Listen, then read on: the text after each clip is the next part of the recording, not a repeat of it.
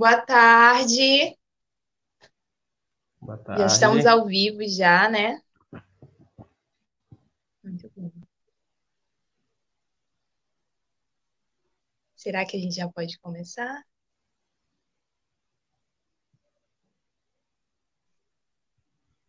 Acho que já. Então, gente, boa tarde. Eu me chamo Ruth, eu sou militante do Levante e eu contribuo aqui com algumas tarefas no estado do Pará, né? E, a, e no município de Marabá. E aí a gente está aqui nessa, nesse processo de trabalho de base, enraizamento da juventude. Eu estou muito feliz de estar participando dessa live. Ela tem um significado muito grande aqui para o estado, para a região norte, na verdade. E fico muito feliz também de poder contar com a participação de companheiros do MST, que também constrói a juventude, né? E aí a gente vai falar um pouco sobre agitação e propaganda e as experiências que a gente tem de agitação e propaganda com a juventude sem terra, mas com um olhar né, voltado para o acampamento pedagógico da juventude sem terra Osiel Alves. Isso. Então, boa tarde. Vai lá, Alan, se apresenta. É, boa tarde a todos e todas. É, eu sou Alan, sou do MST Pará e contribuo no coletivo de cultura, é, aí construindo uma cultura para o nosso povo sem terra. É, como a Ruth já disse, hoje a intenção nossa né, é falar sobre esse abril aí, né, que marca a nossa história aí, a história da reforma agrária no Brasil. E e nada é, melhor, né, para pautar, né, denunciar do que é, agitação e propaganda, né, como uma das ferramentas é, de agitação da nossa massa. É, como a Ruth falou, né, eu vou falar um pouquinho, né, fazer um pouquinho do que a gente vem construindo nos últimos períodos aí, né, sobre a questão da agitação e propaganda e principalmente é, como a gente mobiliza a juventude desde 2006, né, que foi a estruturação dos coletivos de juventude no MST, e aqui no Pará a gente vem fazendo o acampamento pedagógico Osiel Alves Pereira. É, e aí eu vou falar um pouquinho né, sobre essa experiência nossa aí do acampamento da juventude Osiel Alves Pereira. É, mas antes eu queria é, fazer um breve histórico né, desse movimento, desse grandioso movimento que a gente faz parte, né, que é o MST, aí, né, que nós, a juventude, aí, nossos, nossos lutadores vêm construindo no Brasil desde 1984, né, aí nessa luta aí contra os latifundiários na questão mesmo de tentar, né, de, de conseguir a terra aí para produzir uma cultura, produzir alimentos saudáveis. É, então, já falei, né, o MST ele surge no Brasil em 1984 e aí vem propondo essa reforma agrária, né, é, para questão de dividir a terra para o povo e, e, colocar aí a função verdadeira da terra. Aqui no estado do Pará, o movimento sem terra ele surge em 1990 e na década de 90 é, surge o movimento MST no estado do Pará, né? E aí é, vem se construindo aí com a luta do povo é, uma briga muito árdua aí é, contra os latifundiários, né? Que tem aqui no estado do Pará e a história da, do MST no, no Pará ela é marcada aí pelo massacre de Eldorado dos Carajás, né, em 1996. Né, que esse ano se completa 24 anos do massacre de Eldorado dos Carajás. É, de 2014 para cá, né? Então, assim, já falando, dando um, um, salto, né? O MST vem se organizando e aí o massacre de, de Eldorado dos Carajás não foi o fim, né? Então, a partir dali a gente é, pauta a reforma agrária com mais força, né? Então, aí é, depois do massacre de Eldorado. E aí hoje é, a gente pauta aí a reforma agrária popular, né? Então, um acordo aí, é um compromisso do povo aí firmado desde 2014 para cá, na, na, intenção de construir a reforma agrária popular, né, como um programa cultural do povo sem terra. E aí, é, como a gente vai falar um pouquinho, né, da agitação e propaganda, né, e aí também é importante frisar, né, de como dentro desse movimento tão grandioso vem se estruturando os coletivos de cultura, né, então, o, coletivo de cultura né, do MST, né, que pauta também essa questão da agitação e propaganda né, para a juventude, para toda a sua base social, é, começa a surgir né, coletivo, o coletivo de cultura em 94 ainda dentro do, é, junto com o setor de educação né, do MST, aí em 94 começa a surgir o, o, coletivo de cultura, né? Então começa a pensar essa questão de como se organizar a partir da cultura, né, da arte. Mas é, também né, vale enfatizar que a cultura, né, essa arte, né, essa, essa mística do MST é desde o do início, né, desse movimento grandioso aí, que as, as músicas, né, as poesias é, incorporam aí a nossa luta. Então, o movimento é um movimento cultural aí desde sua gênese, é, o, o movimento Sem Terra é esse movimento aí que propõe uma cultura para o povo é, sem terra e todo o Brasil. É, então, já falei, em 94 começa a surgir o curso coletivo de cultura, é, em 96 também é um marco muito grande né, para o MST, que é o, o um, um, encontro nacional né, de músicos né, do MST, então aí a partir daí começa é, a alavancar aí a questão dos coletivos de cultura, né, então pensar as linguagens artísticas para animar o povo, e em 96 teve é, um grande encontro de músicos em Brasília, então aí a partir daí começa também a ser pensado essa questão da, de como é, o movimento é um movimento orgânico também, né, que, pa, que pauta a animação, né, a cultura, a arte, também como um instrumento aí é, que compõe a reforma agrária. É, e aí, a partir daí, começa a ser pensada, né? Então, aí nos anos 2000, começa a ser pensada é, a questão da, da, da, cultura, né? Diversas linguagens é, para animar o povo sem terra, né? Que é necessário para manter a animação. Então, começa a pensar diversas linguagens, tanto o teatro como é, a, a, música, né? Então, é, agitação e propaganda, é, o audiovisual, né, que também é um instrumento aí que dialoga com a sociedade. É, a, é, mas assim, né, como eu já falei, a poesia e a música é um instrumento que, que mais é, incorpora a cultura sem terra, né, como está presente em todos os nossos espaços aí, é, esse, esses dois elementos é, aí que fortalece a nossa mística. É, Vale lembrar, né, então, as músicas aí, né, que fortalece, é, música para pautar a educação, então eu sempre lembro aquela para soletrar a liberdade na cartilha do ABC. Então é uma música aí que vem, é, que, que, que, anima, né, o povo aí, quando a gente ocupa a Secretaria de Educação, né, para pautar também a educação como um instrumento necessário para a classe trabalhadora. É música que pauta, né, que, que dialoga com a juventude, né, também, que aquela Ô juventude que ousa lutar, constrói o poder popular. Então, são diversas músicas aí de diversos sentidos para poder é, pautar né, e denunciar, seja aí é, durante as nossas mobilizações. É, a Gueda do, de, de Minas, ela fala, né, a arte ela tem que ter uma dimensão é, assim que pauta né, uma realidade, né, então e como essa arte ela projeta é, uma, uma realidade futura, né? Então, a arte aí no Movimento Sem Terra, ela, ela tem um, um, um, caráter muito forte, né? Então, e nós pautamos uma arte, uma cultura que se diferencia da, da, da, da cultura capitalista, né? Dessa indústria cultural que adentra os nossos territórios aí é, para desfazer a nossa, nossa, nossa identidade sem terra, né? Então, essa arte que o movimento propõe é essa arte que que educa a consciência, né, principalmente da juventude, do nosso terrinha, de homens e mulheres aí da nossa, da nossa base social. É,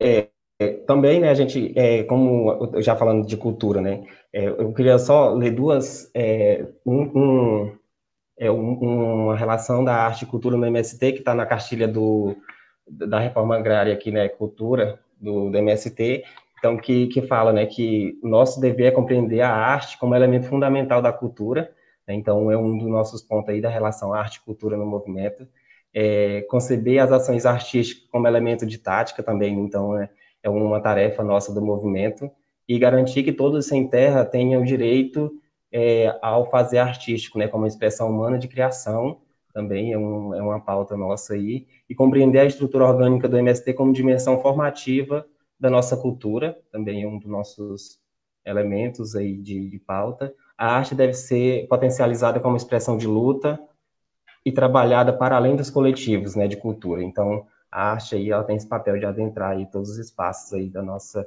nossos movimentos, não só da MSP, mas também né, do Levante e, e, de todos os movimentos sociais. É, como o MST também, né, pauta muito essa questão, né, da formação. Então, eu também queria falar um pouquinho de como vem sendo estruturada, né, essa, essa formação para a consolidação da agitação e propaganda, né.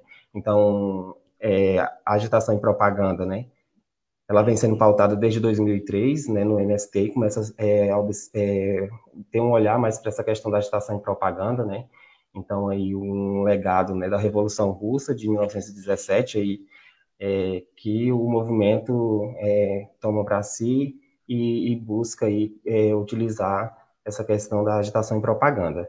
Então, a, a, como o Rafael Vilas Boas ele fala, né, a história da agitação e propaganda no Brasil ainda é, ainda está para ser contada, né? Então, assim, é, a gente pauta, a gente faz agitação e propaganda, mas assim, ainda ela, ela precisa ser intensificada e contada e a juventude tem esse papel, né, de construir essa agitação, propagandear nossos nossos elementos, nossa luta e toda essa construção. Então, essa agitação e propaganda, ela, ela é um conjunto de método, né? E aí que a gente utiliza, já falei, né, através das linguagens artísticas, e a gente vem, é, utiliza, né, para denunciar, para animar e fazer todos os, as nossas lutas. E o, urgente, né, que, que essa agitação e propaganda, ela, ela se intensifique e que essa história, ela tem que ser contada, né, e a juventude tem esse papel, né, de construir essa agitação e propaganda, e a, o Lênin falava que a necessidade mais urgente do povo da Revolução Russa era a educação política, então essa, essa educação, né, que, que a gente propõe, nessa essa animação, esse todo do, dos movimentos, ela parte a partir dessa, dessa agitação, dessa propaganda aí que a gente vem construindo, do que a gente acredita.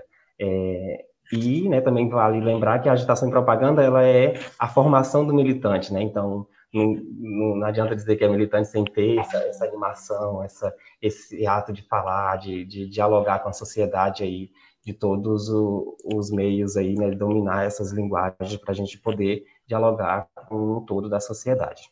É, essa agitação em propaganda, né? Então, no MST, aí ela, aí nos anos 2000, né? No início dos anos 2000, ela vem muito assim permeando através da, das marchas, né? Dos acampamentos e assentamentos do MST, então vai sendo é, construída e as marchas também, né? Então, em 2005 tem um, um, um grande marco que que é a marcha né, da, pela reforma agrária, a marcha nacional pela reforma agrária, e ali naquela, naquela marcha o MST constrói essa agitação e propaganda através da linguagem artística, né, da, da, do, do, teatro, né, então tem até um livro que fala, que, que conta né, as várias peças, e aí que tem uma que marca muito, que é a face da justiça burguesa, né, que, que é uma peça aí construída referente ao massacre de Eldorado dos Carajás, que foi projetada nessa marcha, então a marcha todinha foi foi projetada aí através de, de, dessa linguagem artística que foi o teatro e lá foi apresentada, né, com os bonecos gigantes, com frente o Congresso Nacional, né, é, através de muita luta, é,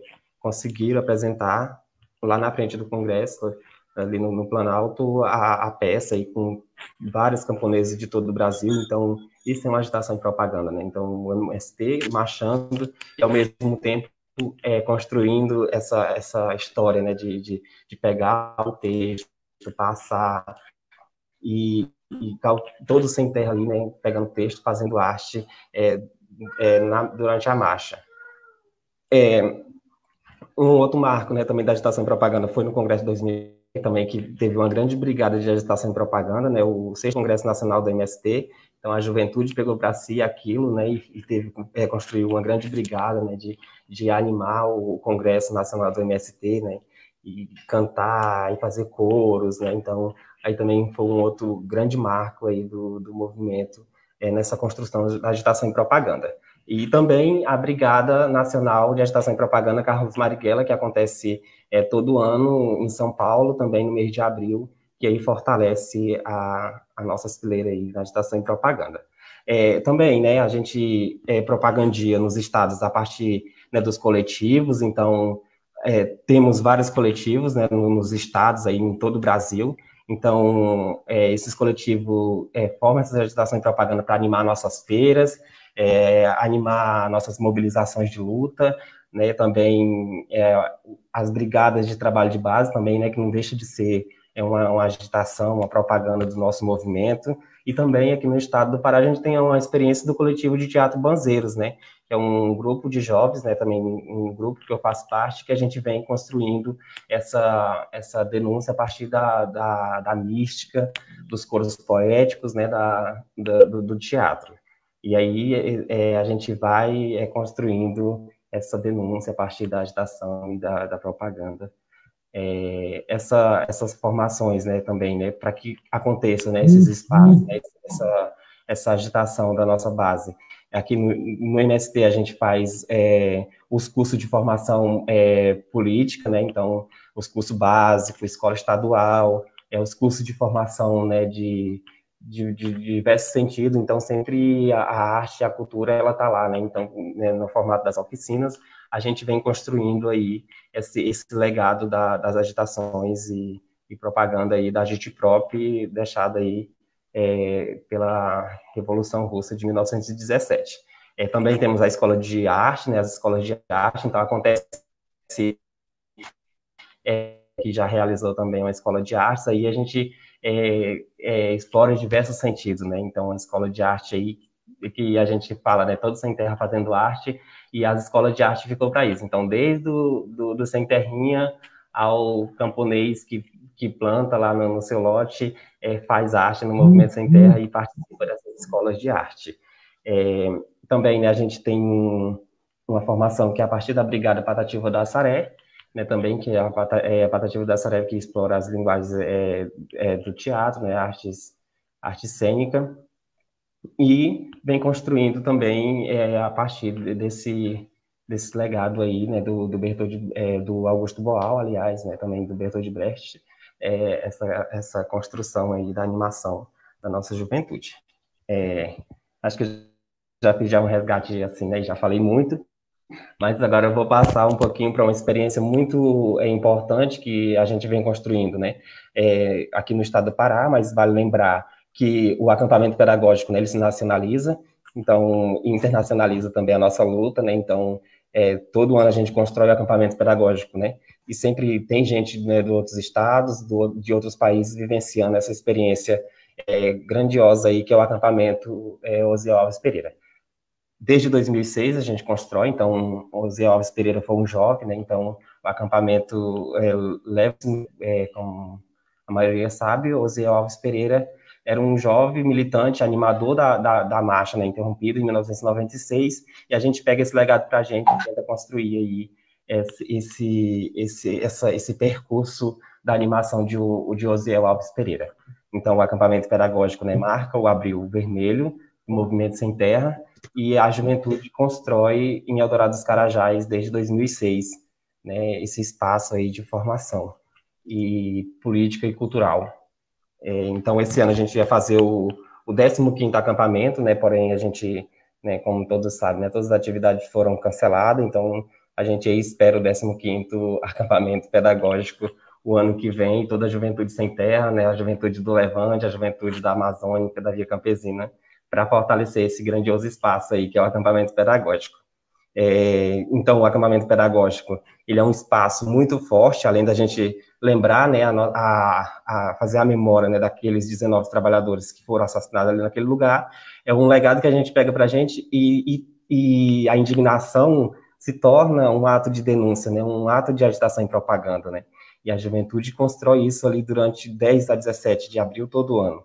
Então, esse ano ia fazer 10 anos de acampamento, e eu sempre vejo essa necessidade de cada vez fortalecer mais aquele espaço, né, é, não deixar é, cair nessa né, essa memória, esse esse legado aí que a gente tem, né, um grande espaço de denúncia e também de pautar a reforma agrária é, em todo o Brasil. Então, o acampamento pedagógico, ele, ele não tem noite, assim, noites, ele tem até a noite, a escuridão é poética lá, né, então, na madrugada, a juventude animando, a juventude fazendo arte, cultura, e a gente amanhece o dia, né, com já o despertar, né, com a música. Então a gente pauta muito a música como um elemento que educa os sentidos, né, no acampamento pedagógico. Então a música tem esse papel. Então desde o do, do alvorecer às 5 horas já começa a música a despertar o nosso sentido, que a gente é, é um lutador e é juventude que necessita ouvir e para poder falar, né? Uhum. A música ganha esse, essa dimensão lá no acampamento. Também a gente constrói muito no acampamento é, o espaço, uma vivência de uma prática militante, né? Que também aguça a nossa literatura, então através da leitura também, então é necessário é, ir para a luta, mas também é, estudar. Então lá no acampamento pedagógico também a gente constrói esse espaço aí da vivência de uma prática militante, né? E tanto para a leitura como também para o trabalho, dependente da necessidade é, do momento, e aí a gente vai construindo essa, essa programação no acampamento pedagógico. É, as plenárias de formação também, né, que acontece lá no, no, acampamento pedagógico, todas muito importantes, a gente traz diversos elementos, tanto é, a gente pauta a reforma agrária, popular, a gente fala da, da educação, né, a luta, né, conjunto aí do, dos movimentos, a arte, a cultura, então, são diversos temas, assim, muito enriquecedor, né, que fortalece aí a nossa arte e a nossa mística. É, também, né, temos as oficinas, as oficinas, ela acontece no período da tarde, então, as oficinas, ela tem esse papel de, de fortalecer, né, essa arte, essa cultura, né, esse momento de agitação e propaganda. Então, acontece oficina de estêncil, oficina de teatro, oficina de dança, e aí a gente vai construindo isso coletivamente, essas diversas linguagens, é no momento da, das oficinas. E, né, às 5 horas, que é o horário do, do, de fechar, que foi o horário que aconteceu o massacre, a gente fecha a BR e faz essa socialização das oficinas lá para todos que estiver passando ali por aquele local, né, saber que aconteceu o massacre, então, a gente utiliza a arte e a cultura para a gente poder dialogar com o povo, né, fazer essa denúncia do que aconteceu ali em 1996 e também para animar os caminhoneiros, os moradores das proximidades que ali estão, é, que estão é, observando, observando aquele espaço ali que a gente vem construindo. É, não vou me alongar muito, mas assim, né, o acampamento pedagógico ele tem essa dimensão, né, então é, além do, dessa formação, né, a juventude, ela tá, a juventude do MST Pará, né, da Regional Amazônica, que vem construindo esse, esse, esse acampamento, ela dá muito, né, muita ênfase, né, para a importância daquele acampamento, daquele espaço, né, o que significa aquele espaço. Então, assim, né, a juventude, ela, ela se fortalece também a partir desse legado, né, de Osiel, né, de tantos outros que tombaram ali, e de tantos outros, né, não só do massacre de Dourados Carajás, mas também de tantos outros que tombaram aqui na construção dessa luta e pela reforma agrária, né. É, sem, sem, mais delongas, eu queria só colocar alguns desafios, eu acho que é importante, né, um desafio e umas preposições para a construção da agitação e propaganda é, no, nos MSTs, nos Levante, no MAN, no MAB, aí todos os movimentos de, de juventude, né, que tem, que tem juventude organizada e que ousa lutar. Eu acho que um dos nossos desafios ultimamente, né, que a gente vem sempre faltando é o enraizamento da cultura. Então, a gente decidiu que todo sem terra, né, independentemente de, de classe, raça, é, gênero, sei lá, é necessário fazer arte, né, para que a, o, o, mundo nos ouça. Então, o enraizamento da cultura a gente vem pautando e é necessário ter os coletivos organizados. Então, aonde tiver juventude é necessário ter o, o grupo de hip hop, os grupos de dança, é, os grupos de, de teatro, é necessário a gente estar tá em constante movimento e as linguagens artísticas falam muito isso, né, para a gente. Então, é para dialogar com a juventude, tem que ter arte, tem que ter cultura ali para poder a juventude nos ouvir, né. É, outra coisa também que eu acho que nós devemos fazer é propagandear mesmo que a gente acredita, eu acho que aí, né. Ah, mas eu não sei fazer arte, não sabe fazer, mas é importante que a gente divulgue, né isso aqui, divulgar a poesia, divulgar os vídeos, divulgar qualquer coisa né, que traga o sentido de, de, luta, de mobilização, é necessário. Então, se não sabe fazer, divulga quem sabe. Né? Então, eu acho muito interessante isso, essa ideia de, de propagandear o que a gente acredita. É, também eu acho que é importante construir a nossa, a nossa cultura, né, como é uma cultura política e cultural, então é necessário que a, que a cultura seja política, né, que, que, que, dialogue, mas também que traga os momentos críticos, né, então essa cultura aí política e cultural.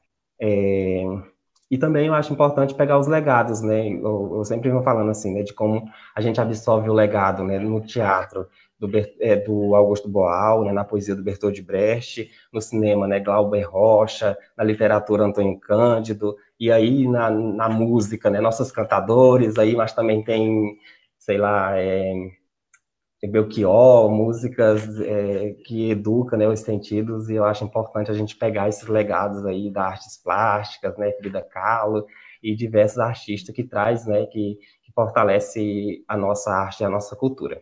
É, na ideia de que fique em casa e não em silêncio, eu acho, ultimamente, a gente tem que aprender a dominar mesmo é o, o a questão mesmo da, da mídia, né, da, da, comunicação. Então, também, a agitação em propaganda é isso, e é isso que a gente está fazendo aqui agora. Então, nesse momento, a gente vê aí um grande levante, né, da dominação da, da tecnologia, aí do, dos meios de comunicação para tentar chegar aí a todos os espaços. Então, é importante também dominar os espaços de comunicação. E também, né, para finalizar, vale, vale lembrar que a mente da juventude é meio que uma terra fértil, né? Então, se a gente não ocupar, né, o, o capital, né, o capitalismo vai lá e ocupa com suas músicas, né? Então, com, com o que eles oferecem. Então, é importante estar em constante mobilização, em, em constante formação com a nossa juventude aí. E é isso, juventude que ousa lutar, constrói o poder popular. E obrigado pelo convite, o Levante Popular aí, que está sempre na luta com a gente. Muito bom, Alan. Na luta de classes, todas as armas são válidas: paus, pedras e poesias. É, agitação e propaganda, ele. Na verdade, a gente utiliza o termo agitiprop, né, que sintetiza agitação e propaganda.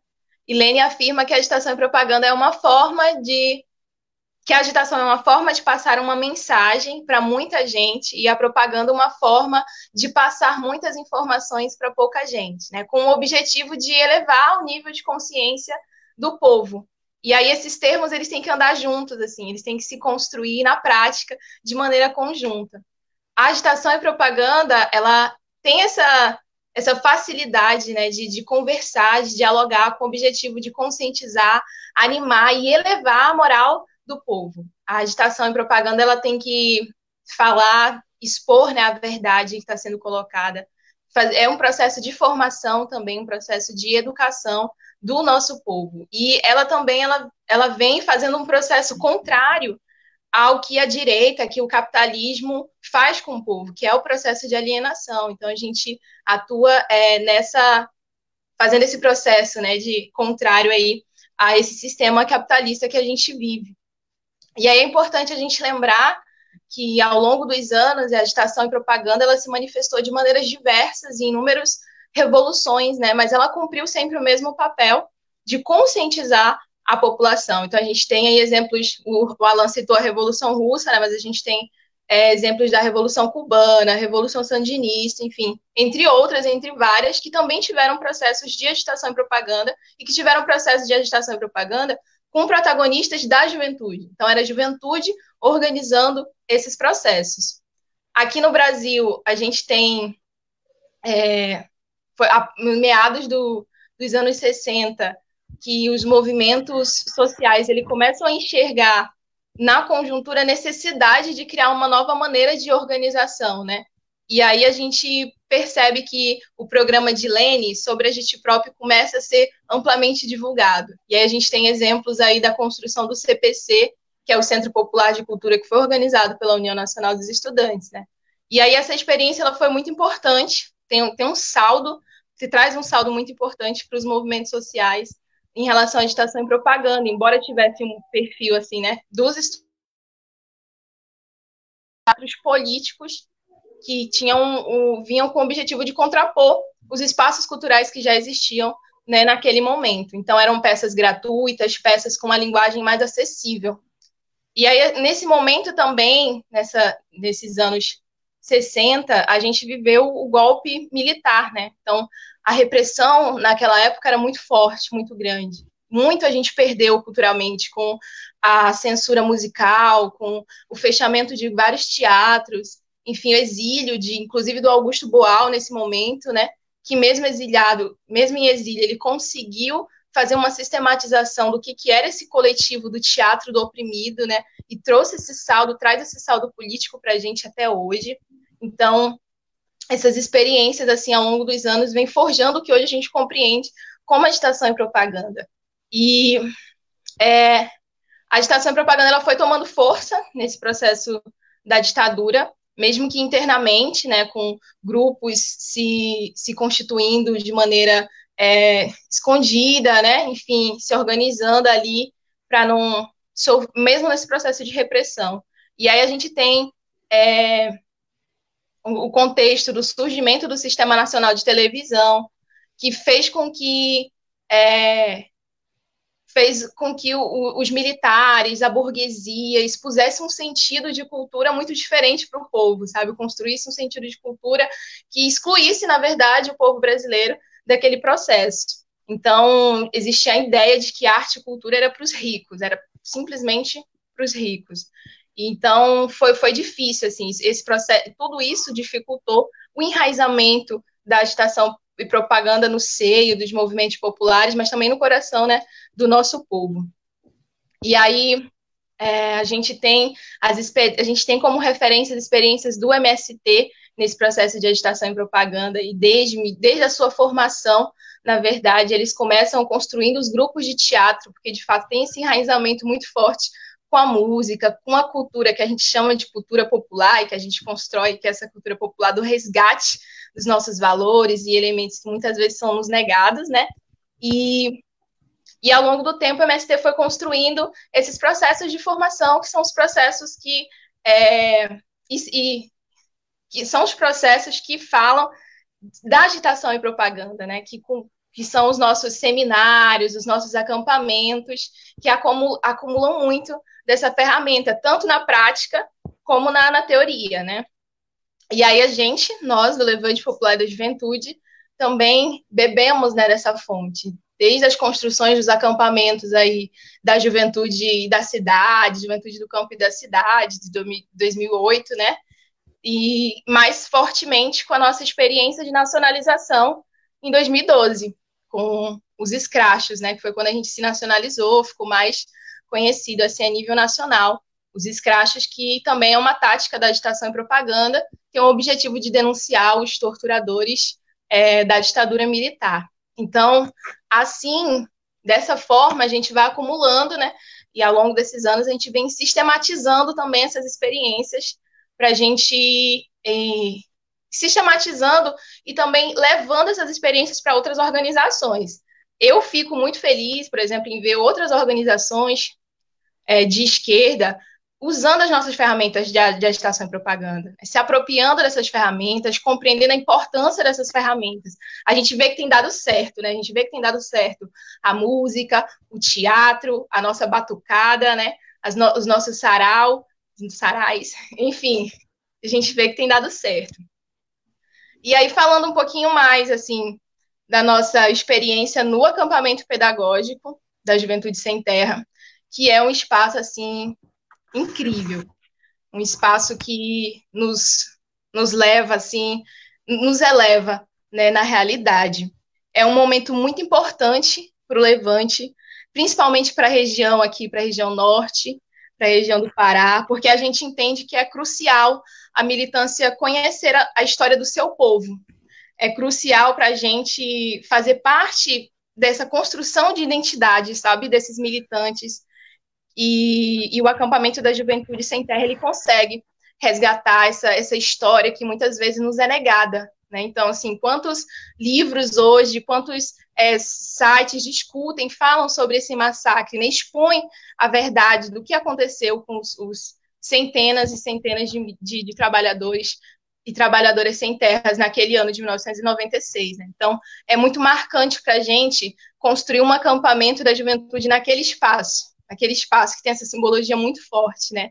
Então, lá tem o Monumento das Castanheiras, também tem uma Casa da Memória, né, que foi construída recentemente, com o objetivo justamente de resgatar essa simbologia da luta pela reforma agrária, assim, do quanto é, foi importante para a gente é, esse marco do massacre, sabe? Assim, aumentou a luta de uma maneira grande, internalizou, internacionalizou, né, como o Alan colocou. Então, assim, hoje é, a gente é visto e é conhecido, é, o movimento sem terra é visto e conhecido na, internacionalmente, né, por conta dessas lutas pela reforma agrária, por conta dessa organização que ele tem, dessa identidade, desse laço muito forte com o povo. Né? Então, assim, esse acampamento pedagógico ele é muito emblemático importante assim, para a gente. Ele é um processo de formação e a gente do Levante fica muito feliz assim, em construir esse acampamento. A gente constrói, a gente desconstrói coletivamente, porque a gente. De que forma né, que o Levante se insere nesse processo? Né? A gente participa, muitas vezes é convidado para participar dos debates, das plenárias, de oficinas. Então, é, existe uma troca muito grande da juventude né, naquele espaço. E é construído pela juventude. A juventude sem terra aqui, dessa região sul e sudeste do Pará, e que vem, de fato, milhares de pessoas, né? Vem galera do Maranhão, vem a galera de, de Brasília, vem a galera de São Paulo. Inclusive, teve um ano, acho que foi 2016, né? Que o acampamento da juventude teve um caráter nacional. E a gente também teve a teve o lançamento do livro de Agite Próprio como cultura política, teve a participação do Rafael Vilas Boas também nesse espaço. E aí foi que a gente começou assim, né? É, ampliar mais né, a nossa relação, a construção de Levante e MST no acampamento. Então, a gente começou a intensificar mais essa relação. Né? Mas desde 2014, o Levante constrói assim o acampamento da juventude junto com o MST. Né? Em 2014, a gente participou de um escracho contra um latifundiário da região né, de Corionópolis, e foi muito emblemático, né, participar de uma marcha com a juventude para denunciar também um torturador da guerrilha, né, também naquele momento, mas um dos grandes, um, um dos grandes latifundiários também de terra né, nessa região aqui. Então, a nossa região é muito marcada por esses conflitos territoriais, essa disputa da terra é marcada pelo sangue do, da, da classe trabalhadora. Então, a gente fazer esse resgate é muito importante. E aí, desde 2015, a gente tem participado com com as nossas oficinas, levando a nossa batucada, levando o estêncil e fazer essa relação da juventude, do, da, da cidade com o campo é algo muito incrível, né? Porque a gente chega para dar uma oficina nesses espaços e a galera já, já tem muito acúmulo. Porque, como o Alan colocou, né, o povo do, do campo já tem uma relação muito profunda com a música, com a, com a arte, assim, né? Porque faz parte do, do cotidiano mesmo, do, da dinâmica de vida, né, de, de sentar, enfim, é, com, essa, essa, militância já tem isso, né, enraizado. Então, assim, é muito diferente quando a gente chega, é muito rico, né, a construção de tudo, desde a da ornamentação, a construção de um cartaz, traz uma simbologia sempre muito forte, assim, nas nossas chitas, nas flores, na palha, né, o significado, essa relação muito forte mesmo com esses elementos é, naturais, esses elementos da Terra. E aí a gente, é, 2017 também estivemos presente, né, no acampamento da Juventude Sem Terra, só que a partir de 2017 o, a nossa participação assim, ao longo dos anos ela vai aumentando, né? Vai participando mais militantes nossos e a gente vai assumindo outras tarefas dentro desse acampamento, né? Então, a gente participa desde o dia 10 ao dia 17, com a nossa juventude participando de de NBs, construindo as suas tarefas. E o que, que é importante nisso tudo? Nesse acampamento, a gente consegue, a gente consegue formar, fazer com que a nossa militância compreenda que essa dinâmica de organização dos movimentos populares, que não existe tarefa menor, que não existe tarefa maior, que todas as tarefas elas são importantes, né, para a construção é, da, do, do coletivo. Então, assim, a gente chega no acampamento da juventude não tem muita coisa construída. É um processo de construção, né? A cada dia é levantada uma parte do acampamento. Isso é muito bonito, sabe? A gente fazer parte dessa construção. A própria mística do espaço também, né? A gente sempre participa dessas místicas denúncias que acontecem 5 horas da tarde na pista. E sempre é muito impactante, né? Estar naquela, na, naquela pista, estar naquela curva do S, perto daquelas castanheiras, né? é, expondo, contando uma história que foi ocultada, né, e que, que muitas vezes é contada de outra forma. Então, é, é muito importante para a gente. E aí a gente utiliza diversas ferramentas é, do teatro oprimido, teatro de jornal. A gente é, é muito forte a questão da, da, expressão corporal, né? Muitas vezes não tem como a gente é, fazer falas para serem ouvidas, né, de maneira alto em bom som. Então, a expressão é muito importante, né? o gesto corporal é muito importante na construção das místicas no acampamento da juventude. Então, a gente aprende isso, a gente aprende a trazer também elementos, da, elementos que estão presentes ali naquele local, né? Das folhas, da terra, as, os, os instrumentos, né? as ferramentas de trabalho dos camponeses e camponesas. Então, a gente leva isso para as nossas intervenções. E isso é, é, é uma inovação, sabe? É um processo de reconstrução do que é agitação e propaganda, né? São, é uma nova forma de apresentar agitação e propaganda a partir daquilo que, aquilo que a gente tem e a partir da compreensão de que a gente precisa cada vez mais é, espalhar aquela, aquela verdade, né? Aquela espalhar a nossa indignação, espalhar, denunciar, né? E aí a gente arruma diferentes formas. Então, o teatro ele é muito, ele é muito presente dentro do acampamento da juventude, né? Assim como essas simbologias. A batucada também é muito importante nesse processo de agitação. É o momento que a gente percebe, a gente vai sentindo assim ao longo do, do da construção do, do, dos dias, né, do acampamento, é, a juventude cada vez mais se apropriando ali da batucada, se apropriando das músicas que denunciam, que pegam na cabeça, né? O Levante ele trabalha muitas paródias e é justamente para isso.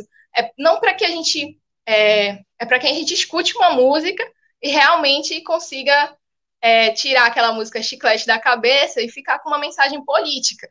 Então é isso que o Levante faz. É, e é muito engraçado como que isso vai é, crescendo ao longo da construção do acampamento, assim. Como que a juventude vai se apropriando, que a gente vai criando novas músicas, novas palavras de ordem, né? É, é um processo, na verdade, de criação, de criação mesmo, criação da arte muito grande. É, então, é muito, essa, essa experiência que a gente tem é muito forte, né?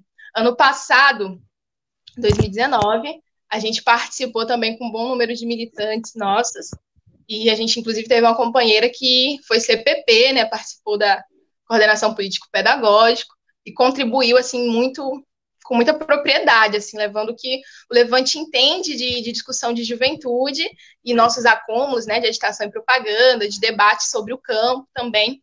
E foi um, momento muito importante. Teve, que a gente teve um dia que foi só o Levante, assim. Teve um dia que a gente estava desde é, a coordenação do dia até a mística e tal. Então foi um momento assim que a gente vou, pegamos a, o dia, assim, é nosso, vamos fazer, e a gente fez muito bonito, assim.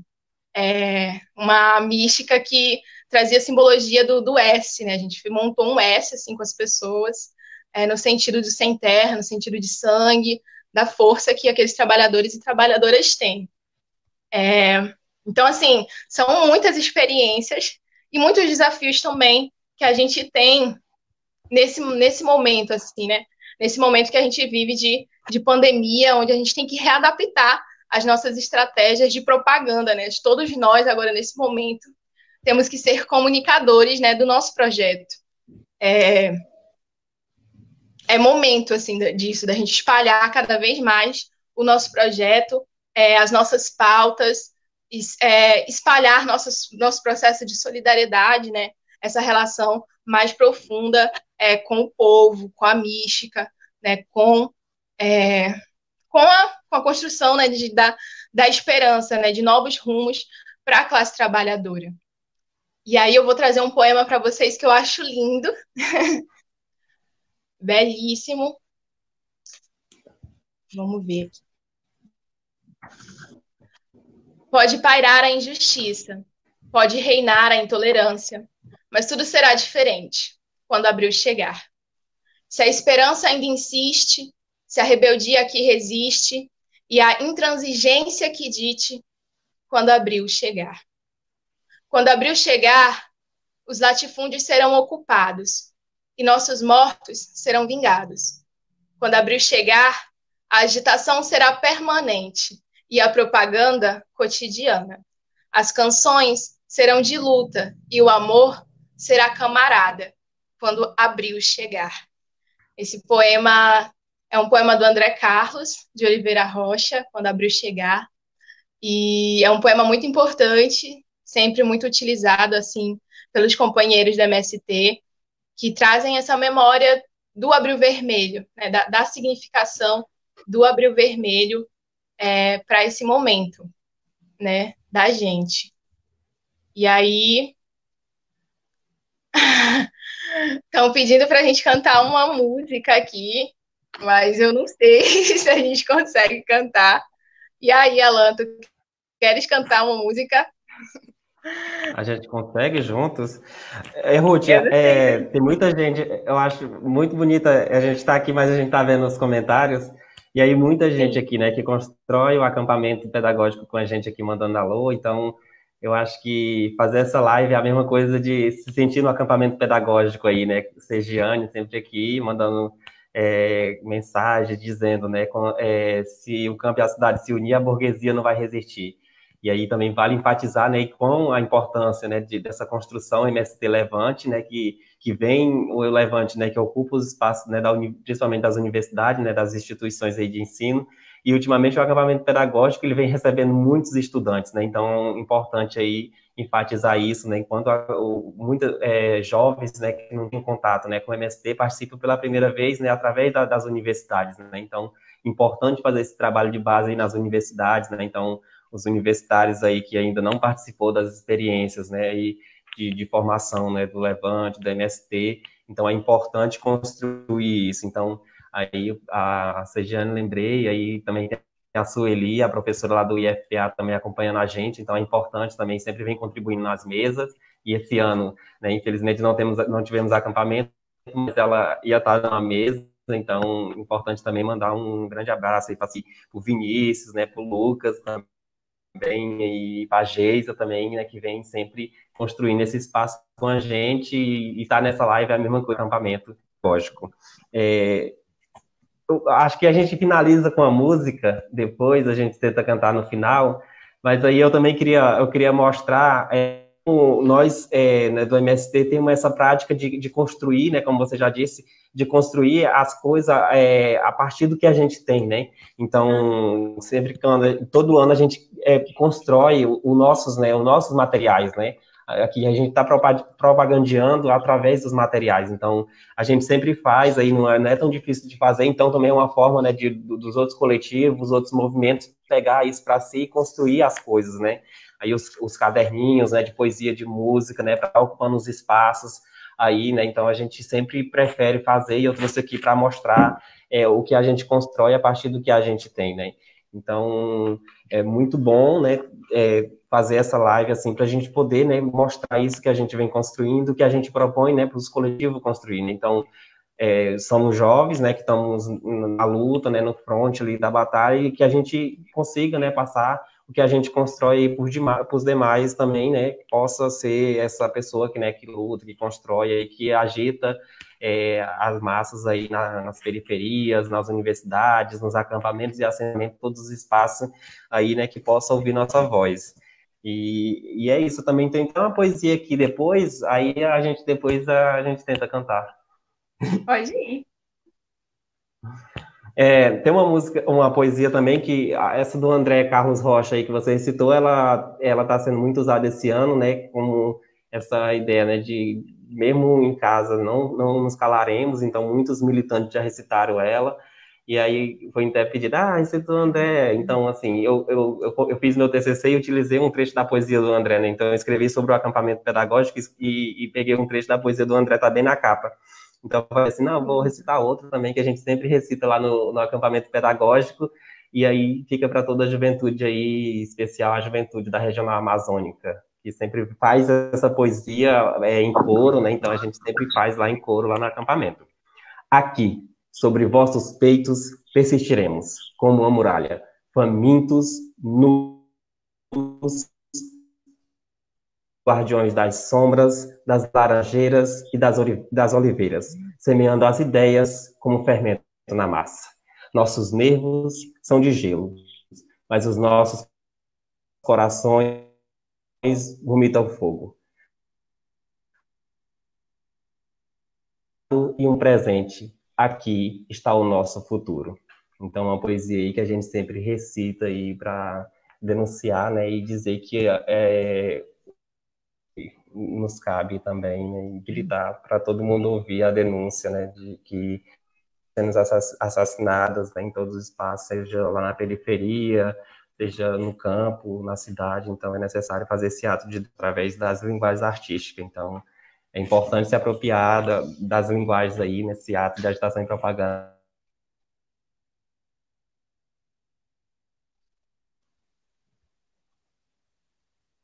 Sim, e tem uma outra poesia aqui, que é uma poesia que traz muito forte a memória do, do Osiel Alves, que é uma poesia assim, muito marcante, pelo menos para nós do Levante é, Marabá, porque a gente sempre utiliza, a gente traz muito essa, essa memória, esse processo. Quando a gente vai fazer as nossas jornadas socialistas, a gente sempre traz essa trajetória do massacre de Eldorado dos Carajás como uma luta né, importante é, nesse processo de construção aí da identidade é, do povo, né, dessa relação com a luta pela terra. E aí eu queria trazer um pedacinho, na verdade, desse poema, que o Alan sabe qual é, né? Mas que é muito forte também. É, debaixo das lonas pretas, no curso de formação ou já nos assentamentos, quando se canta uma canção ou num instante de silêncio, Osiel está presente porque a gente até sente o pulsar do seu coração. Então, essa poesia. Pode falar.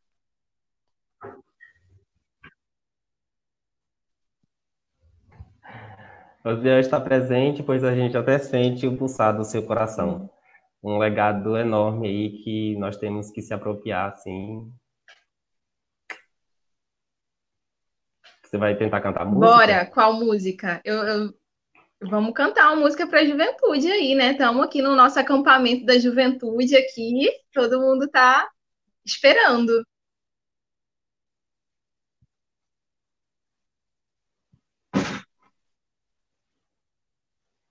Qual é que a gente vai cantar? Tá muito falhando, a, a internet tá meio oscilando, aí se, acho que se a gente tentar cantar junto vai vai dar. Tá, então canta a música pra gente do aquela música que é muito marcante assim, do arroz deu caixa, feijão floreou, acho que é muito muito marcante assim nos acampamentos da juventude.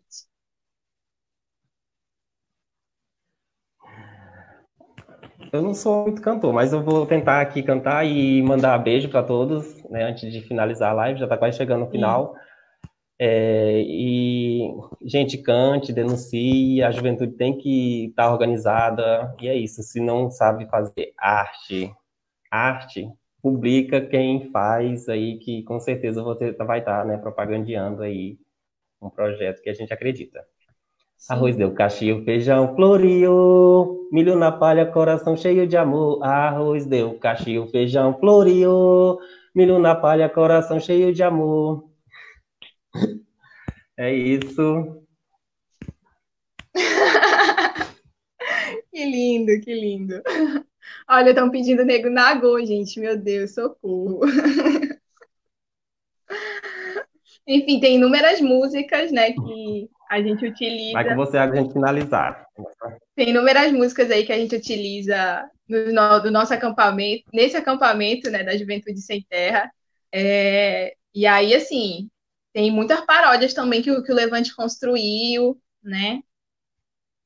Que precisa de um, né, precisa do aporte aqui da batucada para me cantar, né? Enfim, as paródias. É, não, uhum. não dá muito para cantar as paródias, assim. É... Ah, eu acho que a gente vai caminhando aqui. a gente vai caminhando aqui para encerrar mesmo, né?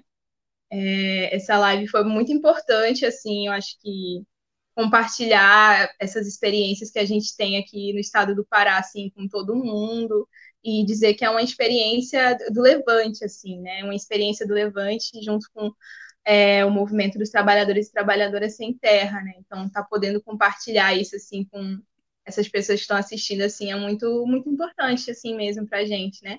E a gente está ocupando esse novo espaço, assim, esse novo espaço de formação, de propaganda é, do nosso projeto, assim. Muito feliz mesmo, de verdade. E aí eu agradeço, assim, imensamente o Alan, que aceitou estar tá, tá presente, que aceitou trazer esses elementos, né, que ele trouxe, essa história, assim, deu uma aula aqui pra gente, né, o Alan é um querido, assim, formado em educação no campo, né, então, ele é uma pessoa assim muito importante, assim que a gente guarda com muito carinho, assim, enquanto levante, que o MST também cuida assim com muito carinho é, do Alan, assim. Então, muito obrigada, Alan, de verdade, assim, por sua contribuição, assim.